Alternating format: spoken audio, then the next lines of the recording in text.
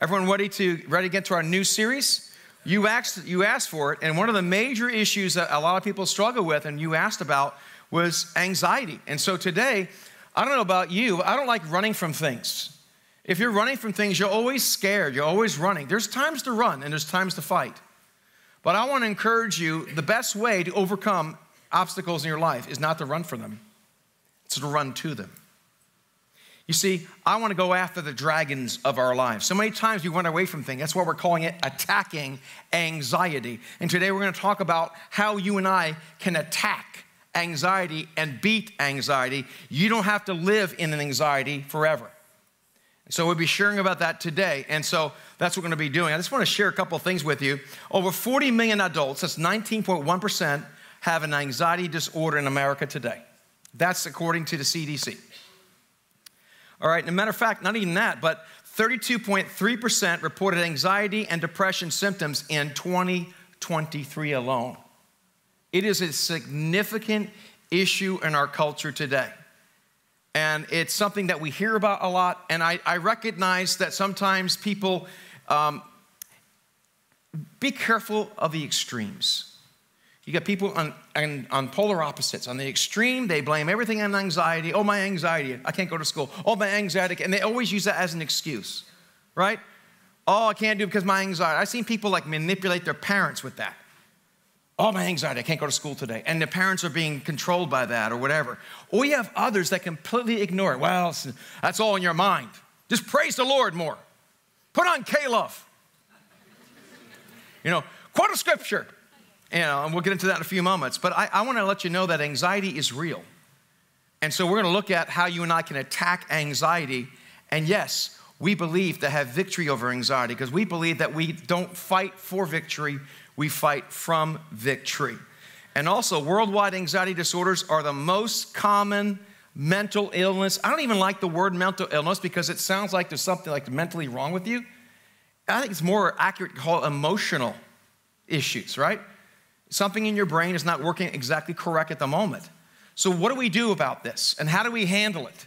And so, today we're going to look at it and see what the Word of God says and what Jesus, how he dealt with it himself. First of all, I want to say anxiety is not a sin, it's a symptom. Anxiety is not a sin, it's a symptom. Okay, let me, let me explain a little bit to you about it. Um, for example, if I were to invite you to my home for, for Thanksgiving, okay, and my whole family's there, we have a beautiful turkey for Thanksgiving. We have veal parmesan, chicken parmesan, eggplant parmesan, refried beans, empanadas, okay? It's amazing. It's an event, and not only that, but it's a beautiful day. We have amazing people that are there, your family, all your friends are there, right? And you go to that, and imagine before you go there, you have a stomach virus. Now, I know I don't want to say this at the second service, but you're literally vomiting. Okay, you're turning green. You got bile coming up. I mean, it's bad. You are sick. But for some reason or another, they drag you to this celebration. And all of a sudden, and, and you go, oh, I don't want to eat. What's wrong with you? This is amazing food. We cooked it all day for you. Look at all the families here. What's your problem? Come on, enjoy. Enjoy. You, come on. You need to grow up. Just sit down and eat the meal. Now, would you do that to someone that has a stomach virus? First of all, you don't want an extra course on the table. right? Another reason is you wouldn't do that. Why? Even though the food is amazing, even though the company is amazing, the person has a stomach virus and is sick, and you wouldn't yell at them for doing that. Yet we do that with people that suffer with emotional and physical anxiety and depression. Come on, knock yourself out of it. Come on. But when you're going through something like that, believe me, it's like you're nauseous, it's like you want to throw up, and there's a great meal out there. And so I, I just want to encourage you. And sometimes the worst thing, the worst people in the world sometimes are Christians and not this. Where's your faith? It must be a demon. We blame it, we blame the devil for everything. Sometimes we, we live in a broken world and, and things will happen. So I don't know if you've ever had this happen to you. I can't stand. They call them a pardon. I know it's a little negative, okay? Will you forgive me for being negative? You know what they call this? Idiot lights. so what you do, they have no gauges and also beep, overheating, and the, it's too late. The car's gonna blow up. Run out of the car as fast as you can, it's gonna blow up. So when this goes off, you know you're in trouble.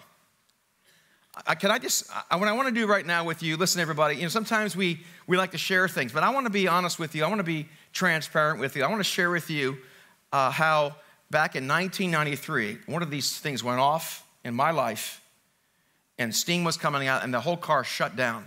My whole life shut down. And let me just tell you a little bit what happened with this whole process. If you don't mind if I just see here for a second, I just want to be, just to sit down and just to, why am I sitting down? Because I want to let you know that I'm not above anyone in this place. If not by the grace of God, I could not stand.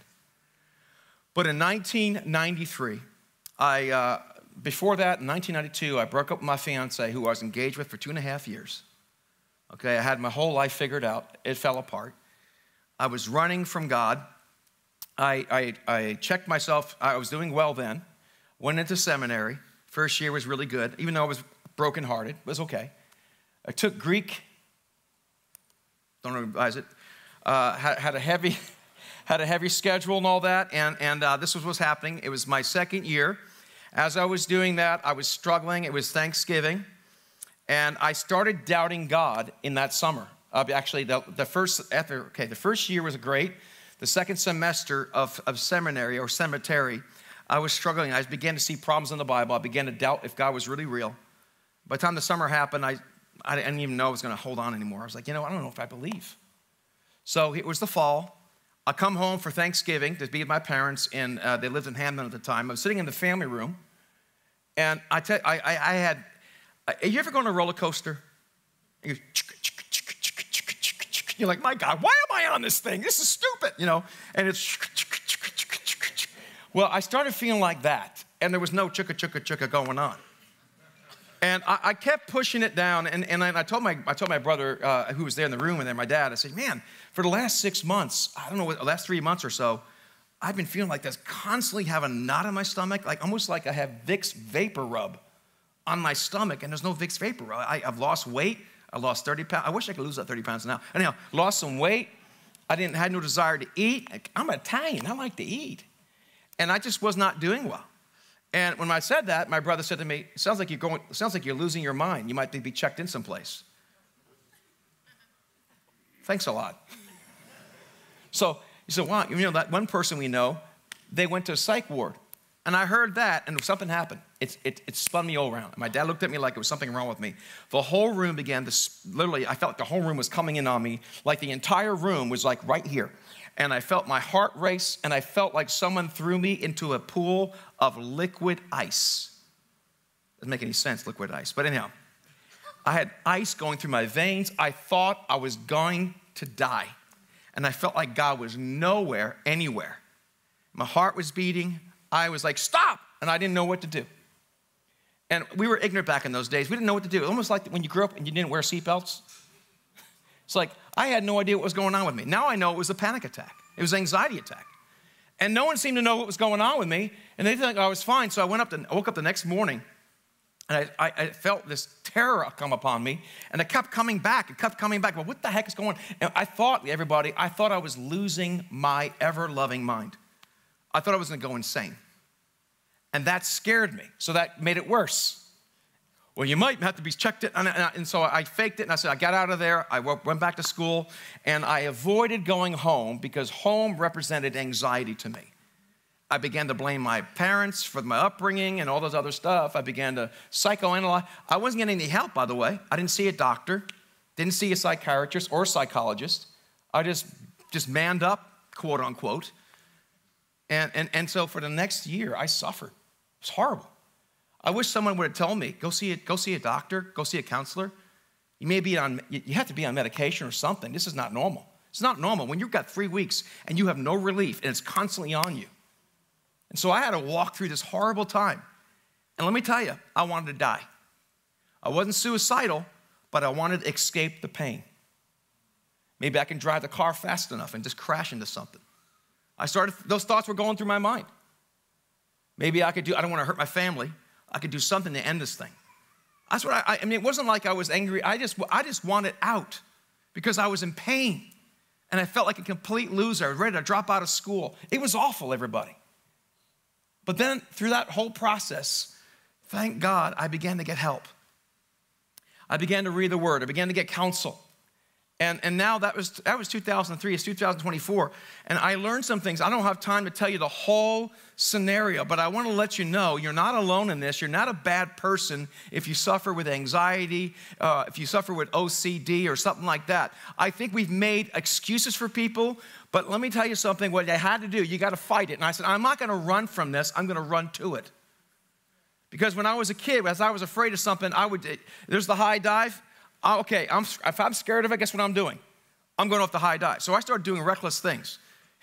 you know, I started facing my fears. I wanted to jump out of a plane. I wanted to do all these things to deal with fear. And so I had to face my fears. And in that process, my everybody, I learned a lot. I didn't believe in God. I thought God disappeared. I already had my doubts to begin with. Now I'm like, I'm sure he's not around. I pray, I get nothing out of it. But I remember my dad's testimony when he was 16 years old. He had a vision of Jesus. And I knew my dad was not a liar, and that held me on and I began the journey of getting help. I've never shared that publicly before in an environment like I shared personally because there's so much shame involved with this. You think you're a weak person. I used to think people were weak. Not a weak. Only the strong survive. That's what I used to think.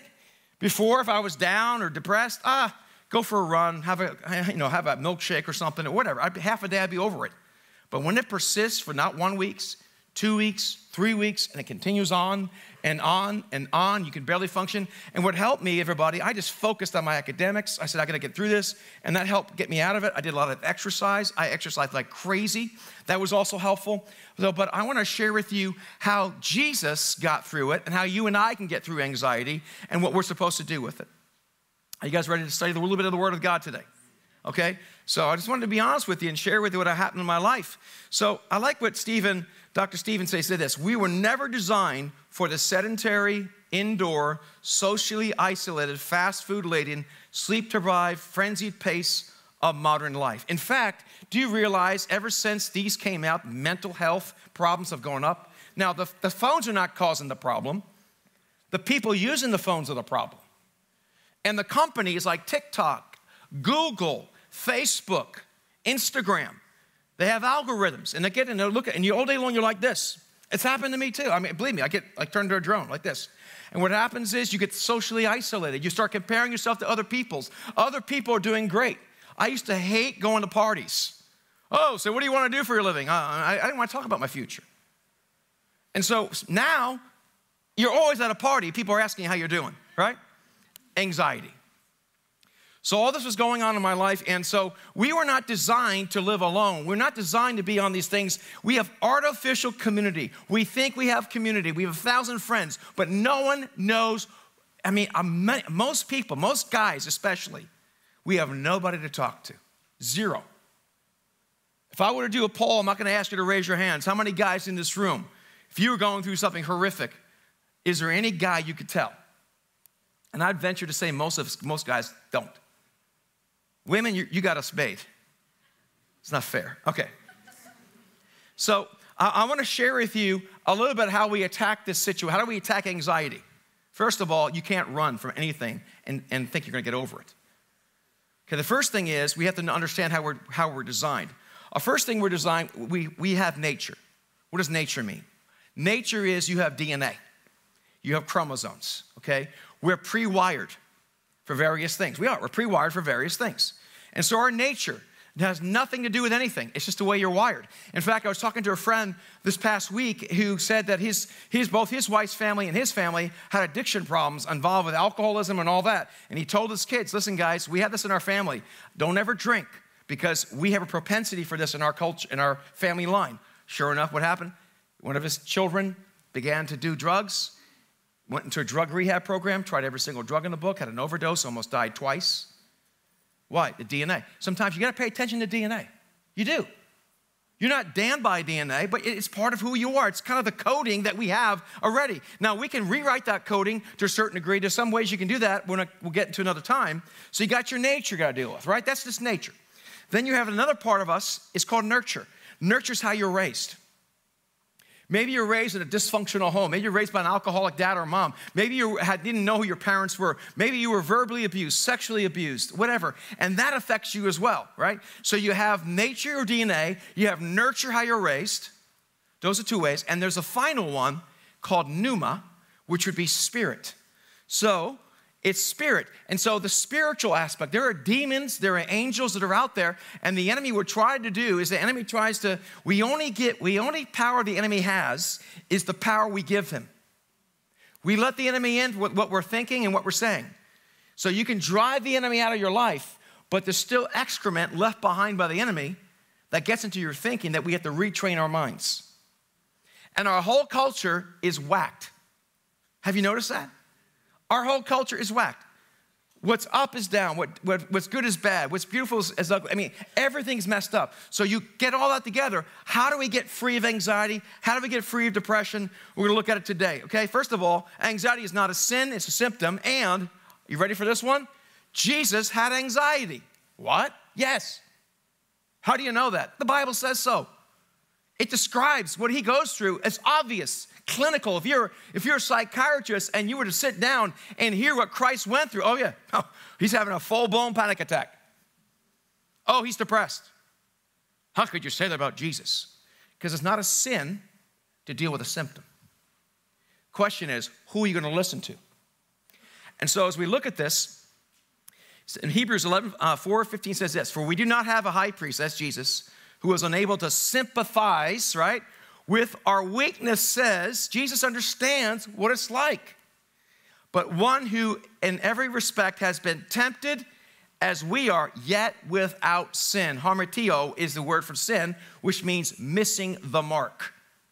So Jesus understands, he's been through what you've been through, he understands anxiety, and he especially understands separation anxiety. Some of you have dogs that get separation anxiety, they eat up the whole house right? And so Jesus was on the cross. You know what he said? My God, my God, why have you forsaken me? Jesus felt the coldness of a godless moment. He felt all the weight of the world upon him at that very moment. More than all the scourging, more than all that he experienced, the separation anxiety from himself was the worst he'd ever felt. My God, my God.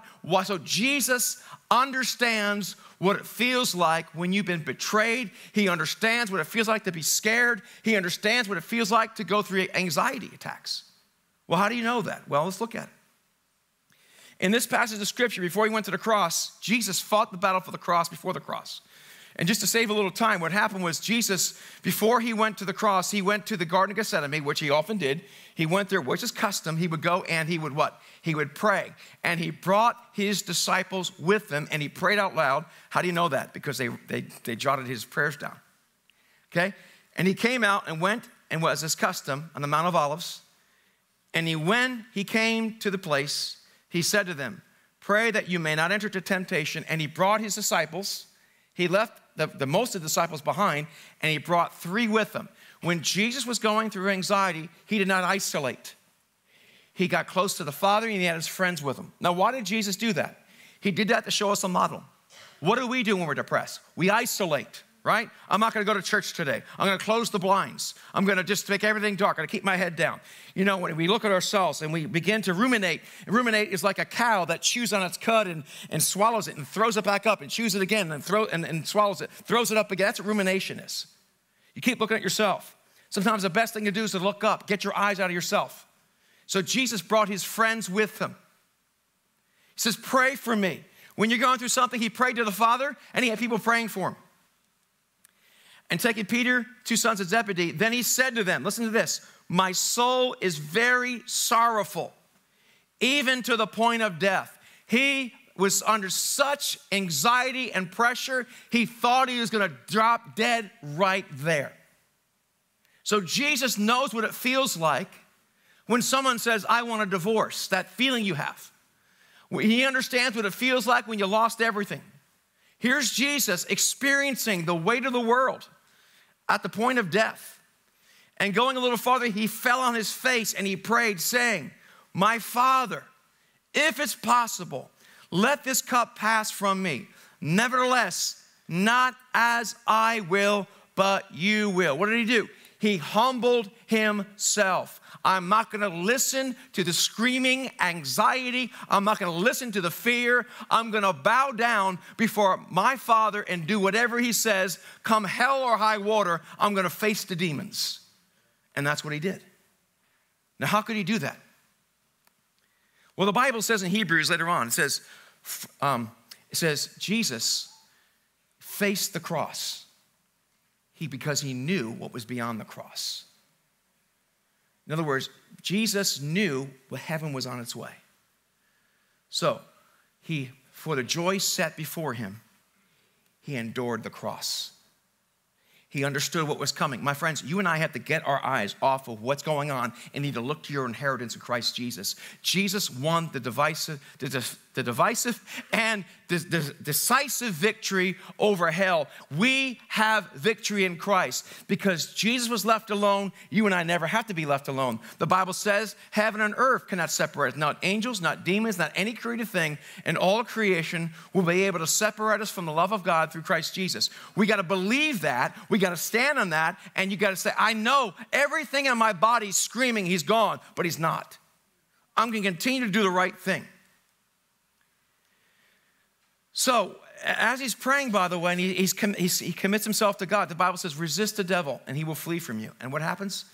There appeared to him angels from heaven, strengthening him. But before that happened, and being in agony, you know what the word for agony in Greek is?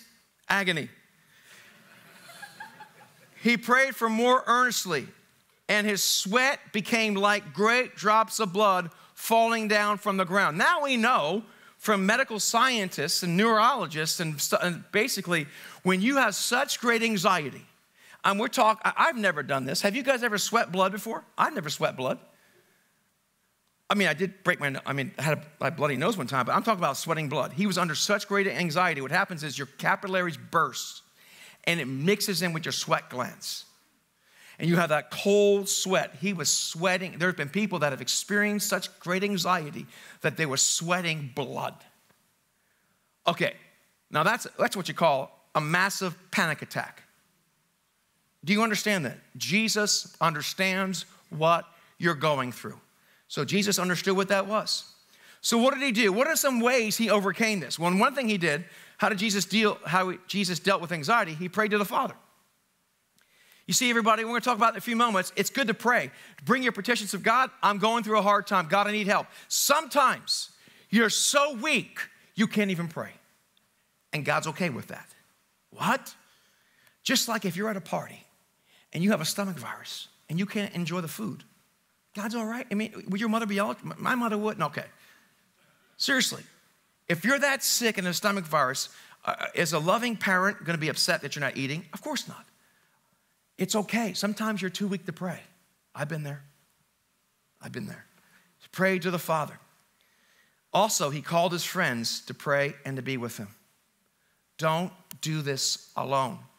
So, in this story of Jesus going to the garden, we can see that he prayed to the Father, he had his friends close by, okay, and he humbled himself. He killed pride. Now, I know Pastor Tom can probably agree with me, and I'm ready to share. He's sitting in the back there. But we deal with people all the time that want to change their lives, but they refuse. They're like Meat Loaf. Remember last week we talked about Meat Loaf? I'll do anything for that, anything for love, but I won't do what? I won't do that. We always have that one caveat. And people say, I want to, I, I, I'll go on a drug rehab, but I can't do it right now because I need to bring food on the table for my family. Nope, you're not ready. You're not ready. I want to, I want to save my marriage, but she, has got to stop getting their last word. You're not ready? the only time you can finally get true help is when you humble yourself. Pride is the first sin. It's the, it's the birth mother of all sins. It's the big ma. It's the big mother. Look what your neighbor says. Pride's the big mother. How dare you talk about my mother? Okay.